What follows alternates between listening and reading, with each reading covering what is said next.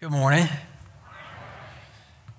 When I was a younger, a younger man with younger kids, uh, I traveled a little bit, not a lot. And whenever I traveled, um, my boys usually were home with Joy.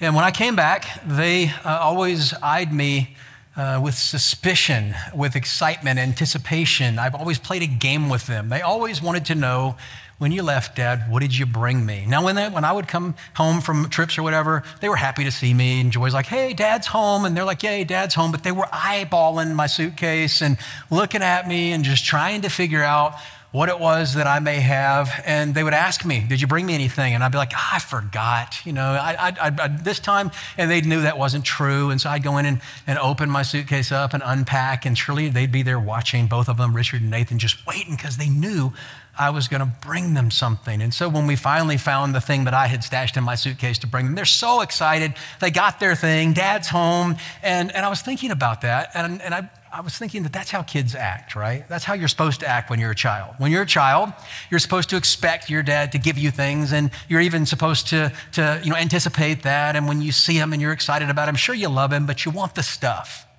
But as you grow, as you age, we are supposed to grow out of that and some of us don't. So it occurred to me this week that it is impossible to have an authentic relationship with someone when you're always trying to get something. Do you ever you know anybody like that? It's impossible to have an authentic relationship with someone when you're always trying to get something from them, when you're always playing an angle. And I think that's one of the things that Jesus had one of the most difficult times convincing people of that as they met him and came to him, surely wanting something from him, that as the relationship matured, they needed to be willing to give something back to him. And some people weren't always interested in that. This Thanksgiving, I want to talk to you about that. It's a story that you've heard before. You've heard before from me. You've heard before if you've been in church any period of time.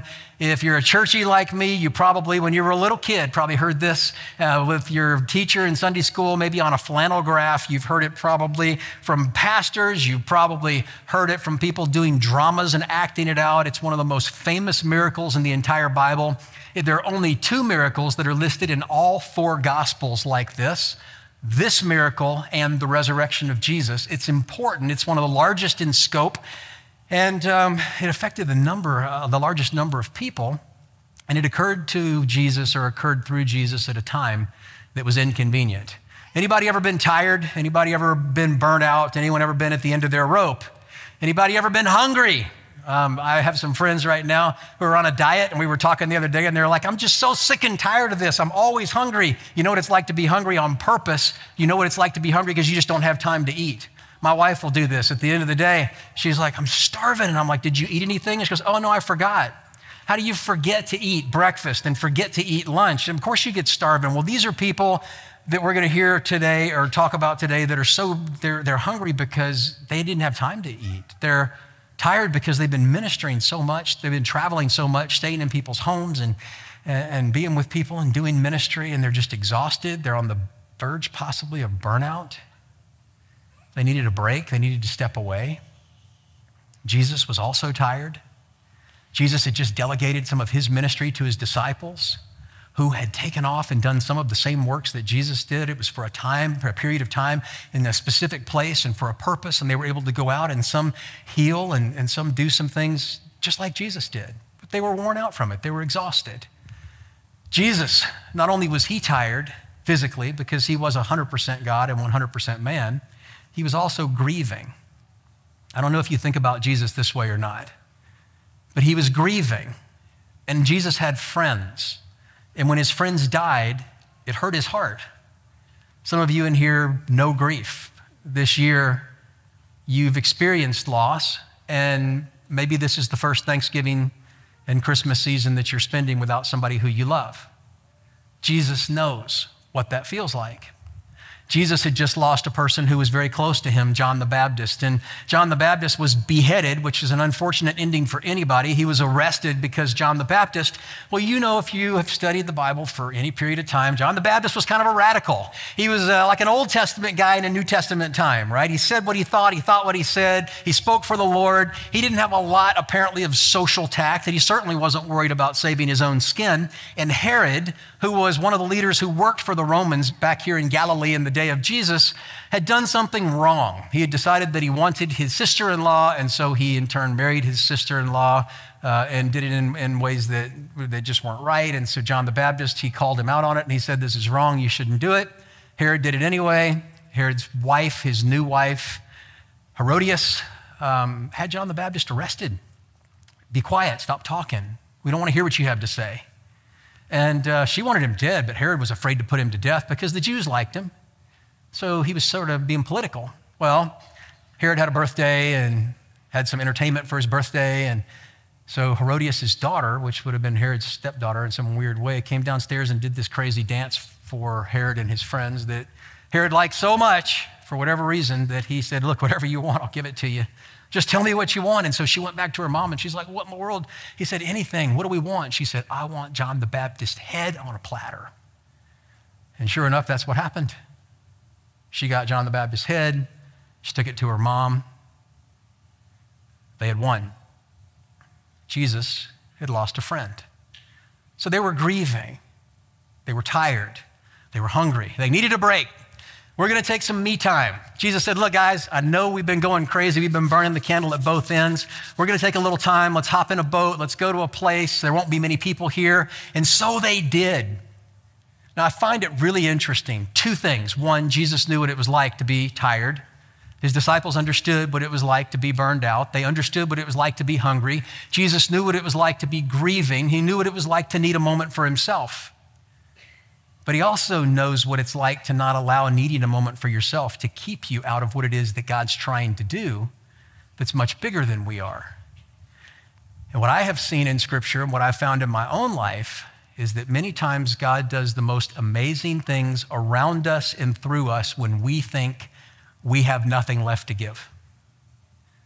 So if you feel like you have nothing left to give, you feel like you're at the end of your rope, good news. You might be where God wants you right now.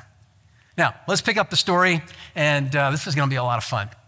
Sometime after this, this, you may ask, are the things I just told you. Sometime after this, Jesus crossed to the far shore of the Sea of Galilee, that is the Sea of Tiberias, and a great crowd of people followed him. Now, this is not what Jesus wanted to see, not what the disciples wanted to see. More work. There's more, people are coming. He's supposed to be taking some chill time, some me time, some time away. And the crowds were coming. Now, this is mentioned, this, this uh, miracle four different times in each of the Gospels. Each of the times adds a little detail, and you should read each of these. If you don't know how to find them, it's super easy. Uh, just pull out your phone, not now, please, or your iPad, and just Google it or whatever search engine you use. Feeding of the 5,000 in the Gospels, it'll bring up each passage. Each passage has a little bit more detail, not conflicting, but um, complementing, and paints a better picture, a more comprehensive picture of this story. So the Bible says that when Jesus looked at the crowds, he was moved with compassion. Compassion is a word, moved with compassion, means that even though he felt like he had every reason, and the disciples felt like they had every reason to take a break, that he saw the crowd and was moved in his gut, physically, his bowels is literally, literally what that means. And he was moved to action. So he looked at his disciples and he said, Guys, this is an opportunity.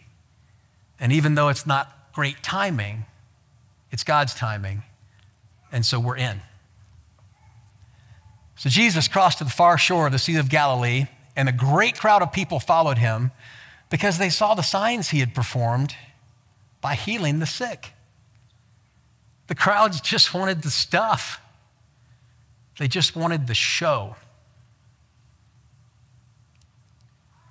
Now, Jesus, knowing the crowds, put yourself in the situation. You're not Jesus, neither am I, but you can picture what it would be like to be there. You worked hard, you've given everything you have. You're getting ready to take some time with Jesus. to hang out and have your questions answered, to connect. Your best friend, here come the crowds. Jesus didn't get irritated. The disciples perhaps whispered in Jesus' ear, all they want is stuff. They just want the stuff. Send them away.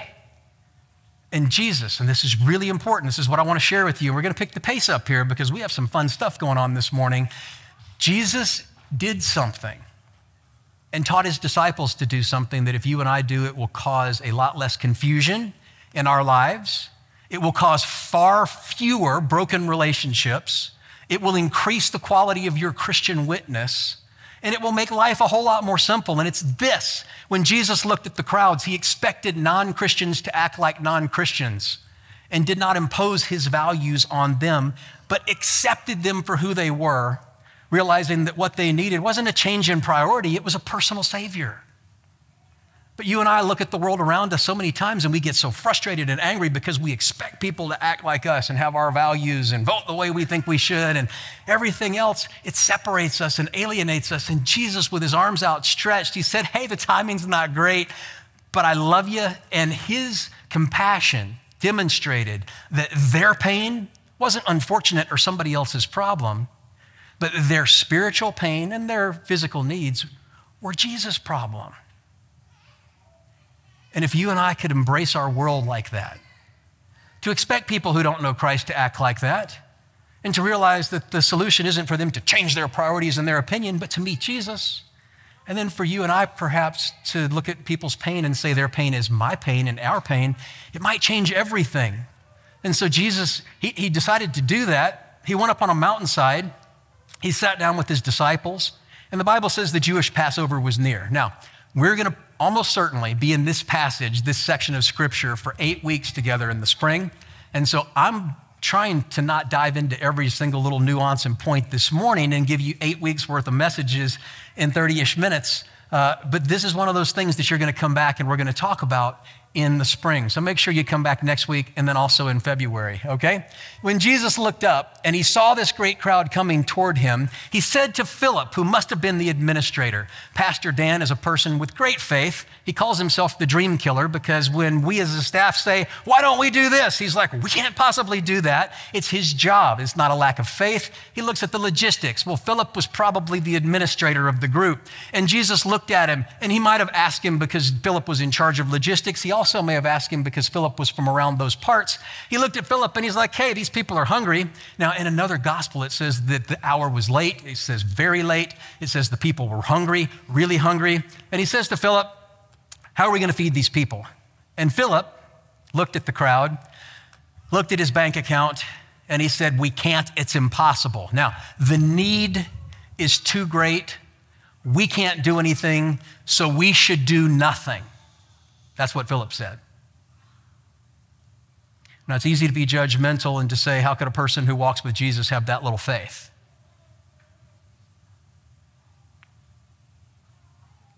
But Philip looked at the need, which, by the way, can be viewed as opportunity. And he said, Because we can't do everything, we should do nothing. Jesus let them fend for themselves. In fact, Jesus, if we went into the bank account and we tried to meet these needs, it would take more than a half a year's wages to buy enough bread for each one to even have a bite.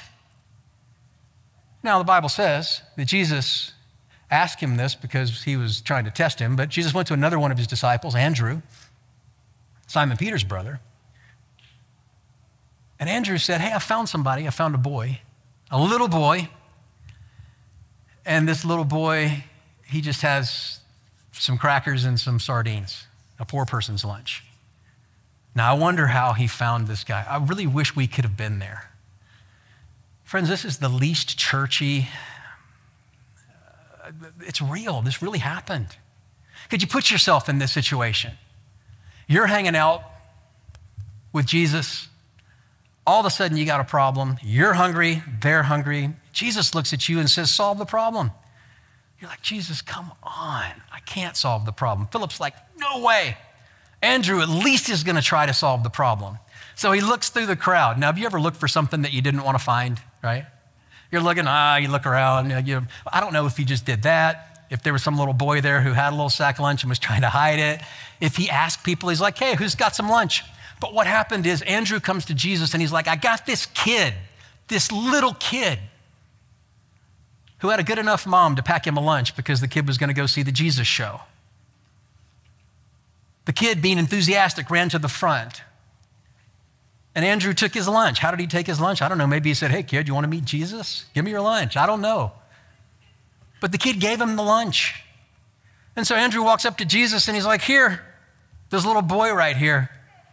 This little boy's got a lunch here. Jesus, I don't know what you can do with it, but it's yours. You eat it because you probably need the food more than we do. Here's a boy with five small barley loaves and two small fish. But how far will they go among so many? Now, pay attention. This will come back later, not as a test, but as something very important. Not just later today, but later in February. Philip looked at the need and said, It's too big, we can't do anything. And so he backed out and said, I'm not doing anything at all. Andrew said, The need's huge, I'm not sure we can do anything, but hey, why don't we just do this? The little boy took everything he had, even though it was nothing in the grand scheme of things, and he said, Here, I don't know what good it's going to do, but you can have it. Now, this is what Jesus loved because Jesus loved kids. Jesus loved children. You say, Well, how do you know that?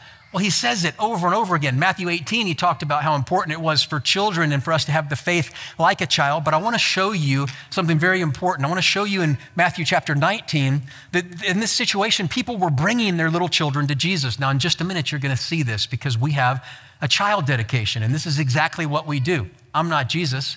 Our church is representing Jesus together this morning, but we're bringing children to Jesus. The people brought little children to Jesus for him to place his hands on them and pray for them, which was the custom of the day.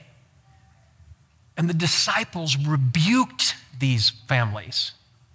They said, Get your kids out of here. They're keeping us from getting what we want. And Jesus got mad. And so Jesus said to his disciples, and I'm getting ahead of myself, you better let them come to me. But let me tell you why he said it first. The first thing is Jesus loves kids, loves them, loves children. Jesus loved the way kids looked at the world. He loved their enthusiasm. He loved their generosity. He loved the fact that they gave because it was just part of their nature and they didn't worry where things were coming from. He loved the fact that they were on the front row ready to go, even though they didn't know what they were doing. And he used them as examples all the time. He says, You think too much. You think you're grown ups. You think you're adults. You think you're in control of your life. You think you have all this to offer. But unless you're like a little child, humble, innocent, and trusting you can't come to me. The second thing is Jesus loved adults who love children. Now, I got to talk to you about this for just a second because this will explain our church to you in a very important way. Jesus knew that parents love their kids. You die for your kids, you probably kill for your kids, you love your kids. Jesus loved adults, and he loved adults who loved their kids. We at Capitol City Church love children. Children are not in our way, children are not an inconvenience. They're not a budget item, they're not a nuance to our ministry. They're our privilege and our responsibility before God to, to help show them Jesus, to train them up in the way they should go, to be part of their lives so that they can become little men and women of God because they're the ones who not only are going to be taking care of us, but they're the ones who are taking the gospel from us into the rest of this world that we know is so hurting and so needy. And do you know something else? Jesus didn't have a nursery or child care we got a couple little kids in here, and you know what? These little kids are a little bit noisy this morning. And do you know why they're noisy this morning? Because they're supposed to be noisy. They're kids.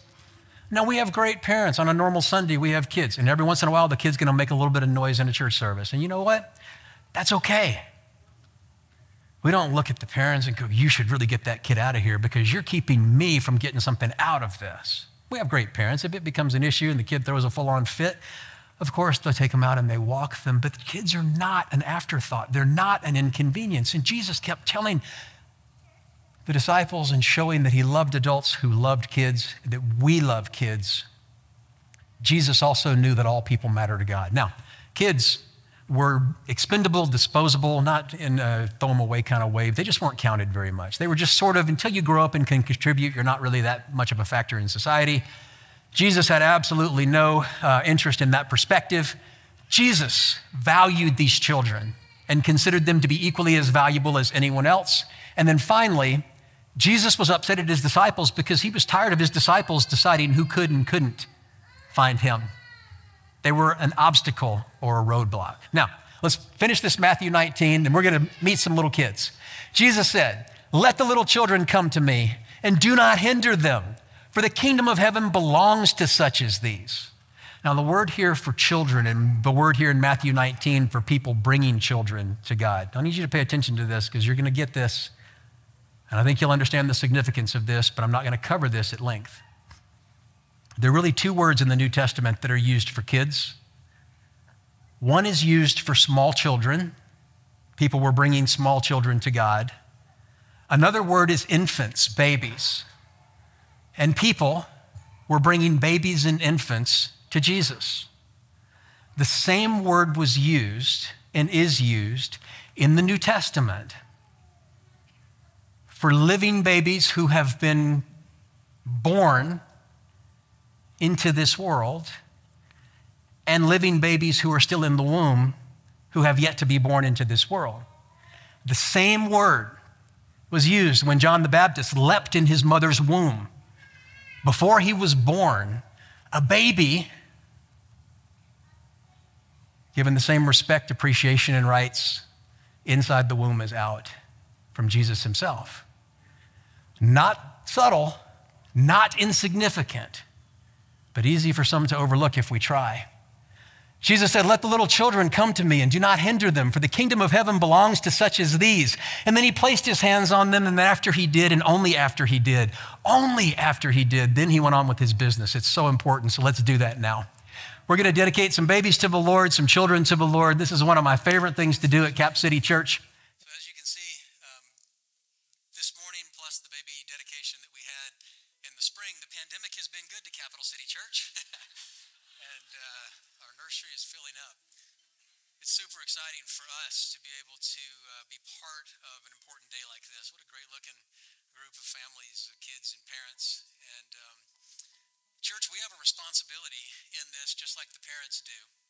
It's our responsibility to continue to create the kind of church that points kids toward Jesus. It's our responsibility to continue to create the kind of church that cares about and loves parents who love their kids and they want to point their kids toward Jesus. It's our responsibility to be part of these children's lives as surrogate brothers and sisters, aunts and uncles, grandparents, whatever the, the case would be, to point these kids toward the Lord, to support these parents, to support these families, and um, it's not just our responsibility, but it's our joy to be able to do that. So, as a church family, what I'd like to do is ask you if this is your intention to be part of these kids' life as much as you can as we continue to grow a church like this and also individually take responsibility like this. Um, I'm going to ask you, church, do you agree to this? And you say, I do. All right, very good. Now, I'm going to ask you, parents and grandparents who are up here, if it's your intention to raise your kids in a Christian home, to point them toward Jesus as best you're able, to teach them about the Lord. And when it's time, when they begin to ask questions, you can tell them how it is that they might find a personal relationship with Jesus, to do everything you can to create little men and women of, of God. Is that your intention, parents? All right. Well, it's our privilege then as a church family to recognize that and to take responsibility in that and to support you in that as best we can. We love you and we're proud of you. And I want to pray a special prayer for you right now and for these little ones. Father, we thank you so much for these little men and little women. I thank you for the lives that they already have, for the significance that they have in this kingdom in this world. I thank you for the role that you have prepared for each of these that we don't know what that role is, but you do, and that you've created something for each of them in this life that only they can do. It doesn't look like it now, Father, because they're little. But you have plans. And so I pray that these families, that this church, that we can be part of that plan, that we can help encourage and pray for and support in every way these little ones as they continue to find their way to you. I pray for these families, for these men, women, grandparents, parents. And I pray, Father, that you would give them strength, that you would give them a supernatural ability to have patience and grace with their with their kids and their grandkids. That they would see opportunities to nudge them towards you, that they would provide for them and protect them. And I pray, Father, that you would give them that ability. I thank you for mornings like this, for times where we can acknowledge to you that you have given us the greatest gift through these kids and that we, in turn, are symbolically giving them back to you. In Jesus' name, amen. All right, we could go home now, but we're not going to quite yet. I got to finish the story. There, if you've forgotten already where we were, I just want to remind you where we were in the story. We had Jesus and his disciples who were a little tired, who thought they had given everything they could possibly give. They saw an opportunity, they were moved with compassion, and they decided, even though they didn't have a lot, that they were going to give everything they had. So they engaged the crowd. You got Philip, who saw a huge need, and instead of seeing this need and recognizing that every problem is a possibility, he said, No way, it's too big, I'm not interested, I'm not going to be involved. Then you had Andrew, who was kind of quasi in, quasi out. He's like, Yeah, I'm going to find this kid, but you know, I don't know what you can do, Jesus. I don't want you to be mad at me, but I really don't want to help solve the problem. And then you've got a child. The child reminds me a lot of Jesus back at the very beginning of this story. The kid didn't have much. The kid had a little lunchbox, a little sack, and he had some poor people food. He had a few crackers and a couple sardines. So you have one kid, you have Andrew who brought this lunch to Jesus, say it's a bagel. And Andrew says, Here, Jesus, there's a bagel. I don't know what you can do with the bagel, but maybe at least you can eat because after all, you're the teacher. You need energy, and the rest of us, I guess we can just watch. So Jesus has a bagel. And the disciples are watching, the crowd is watching, the kid is watching, and Jesus does something that looks crazy, but we know it's not because it's Jesus. He takes his bagel and he breaks it and he calls his disciples, 12 of them, into 12 even portions. He breaks these crackers and these sardines and gives them each to one of the disciples in their bucket and says, Here you go. Here is a piece, one twelfth of a cracker, one twelfth of a sardine. Put it in your bucket. And the disciples said to Jesus, What in the world am I going to do with one twelfth of a bagel in my bucket? So the disciples are standing there, and Jesus literally looks to heaven and gives thanks. Now, if you're with me in the desire to be honest and transparent, I would be a hair skeptical. Let me read to you from the Bible what Jesus did. He said, Have the people sit down. There was plenty of grass in that place, and they sat down. About 5,000 men were there.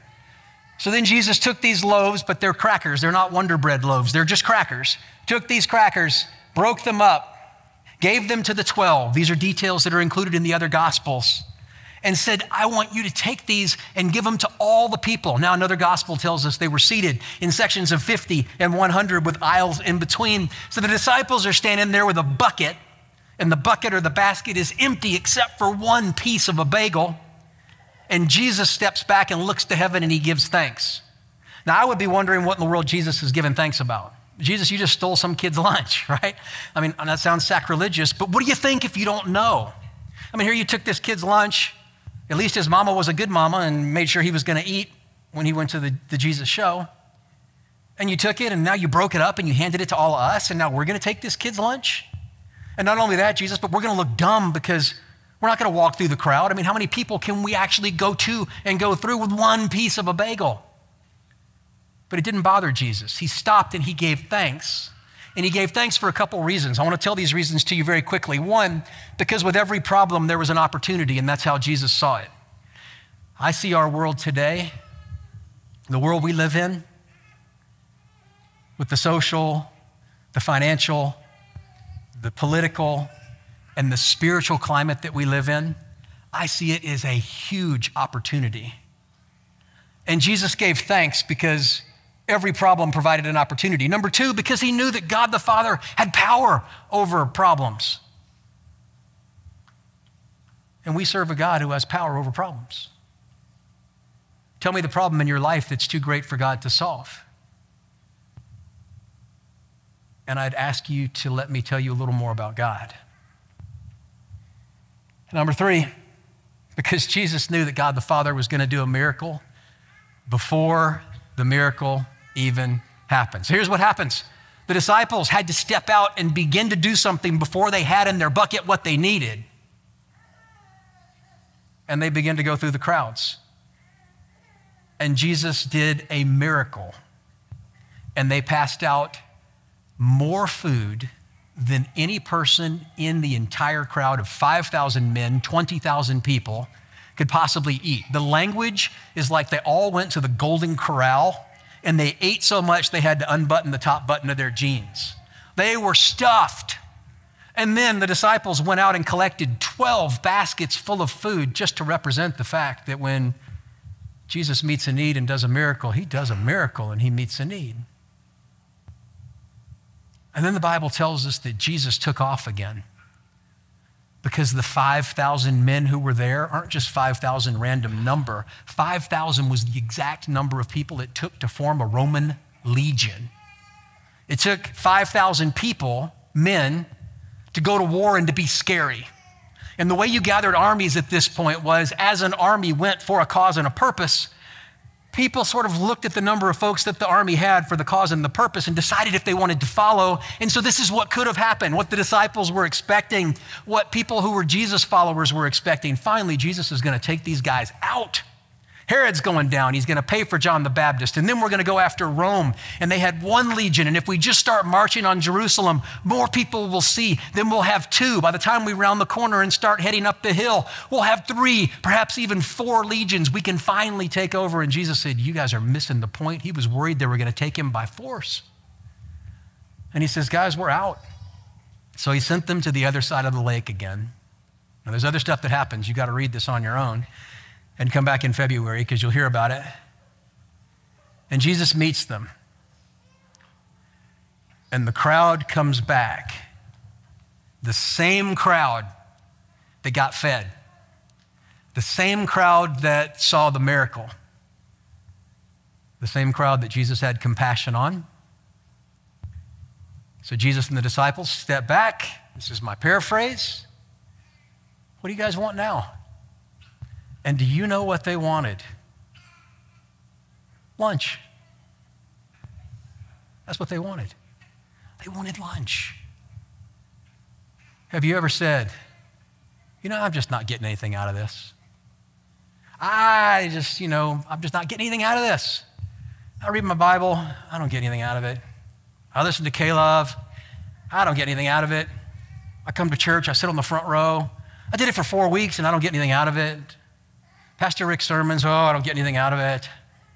I need to go deeper. I need to go more. We need to do this. We need to do that. And, and it occurs to me that a child behaves like that, but that it's impossible for us to have an authentic relationship with someone when we're always trying to get something from them. That at some point, a mature person has to realize that to have an authentic relationship, with Jesus and with others. That we have to be willing to give something. Just like this little boy. It's not much, but it's all I have, and I might not get anything back. But that's okay. Because every problem is a possibility. And God is a God who solves problems, however unlikely. And so Jesus looked at this crowd and he told them who he was. And they said, and this is my paraphrase, not interested. What's in it for us? And one of the more sad passages of Scripture, John 6 6 6, just a coincidence? Men put those numbers in there. That wasn't God giving it the mark of the beast or anything. People get weird about stuff like that. The numbers are put in there by man. not the Holy Spirit, um, talks about how that even some of the disciples who followed Jesus took off, slipped away. Well, if there's nothing in it for us, God, if you're not going to give us the, the present in the suitcase, if you're not going to give us lunch, then we're out. A person of uncommon faith is willing to enter into an authentic relationship with Jesus without always demanding that he give us lunch. Now, this is a hard concept, I know. But this is what I want you to do over the next two weeks. This is my challenge to you. I've been trying to do this. It is hard. And some of you will probably be like my wife and you'll argue it theologically because Joy's very smart and she knows her Bible. And then some of you will probably be like my wife and you'll argue it practically and Joy's very smart and she's a lot more practical than I am. But then you'll see, as my wife did, that I'm right. I'm just kidding. I'm not sure she'd concede that. Just hear me out. It took a conversation with Joy and I. Something that I've been trying to do and something I want you to do. What if you go the next two weeks between now and Thanksgiving and don't ask Jesus for anything? Well, the Bible says, Pastor, here's the theological I can ask Jesus for what I need and he'll give me my needs. I want to give you a sermon in five seconds. The assumption behind those scriptures is that we're going to be asking for things that are a whole lot different than lunch. But you and I spend most of our time asking God for lunch. You put me into this world, God. It's your responsibility to keep me happy, to keep me healthy, to keep me around people I like, to give me all the money I need, to bless me in every way beyond all measure. And if you don't, I'm going to be mad at you. And Jesus is like, at some point, we got to grow up. So what if, what if the next, for the next two weeks, you don't ask him for anything? You just thank him. Now, he knows what you need. You're not going to go without. You're not putting yourself in danger. You're not jinxing yourself for any kind of spiritual retribution. You're going to reshape your perspective or your philosophy on your faith. And I've tried this this week already, and it's really hard. My first response is, God help me. But do you know most of the time when I say, God help me, I'm not really asking Him to help me with the things that He's really that concerned about. I'm asking Him for lunch. So, this is what I've started doing. God, thank you. Even before I come and preach and teach to you guys, I always ask God, God, help me think clearly. Lord knows I need it. Help me communicate in a way where my friends can hear. Those are good prayers, right? But today on the way in, instead of praying that, I pray, God, thank you that I'm getting to go be part of Capitol City Church. Thank you that you've given me a message to share that's so cool that the only way that people aren't going to enjoy it is if I do something stupid. Thank you for my church family. And it totally changed my confidence. It changed the way I was perceiving my morning. It will change your life if you do it. Now, you can use your thank yous as a reminder to make sure God has his to do list of things you need, right? God, thank you for giving me lunch. Thank you for keeping me healthy. God, thank you for making sure that my friends like me. Thank you for making sure I get my raise. That's not what I'm talking about. Your heart will change if your view toward your Heavenly Father changes.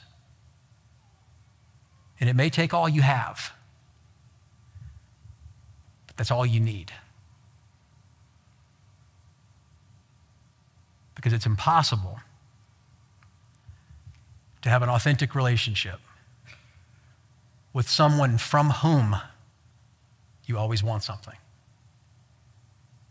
Father, thank you for my friends.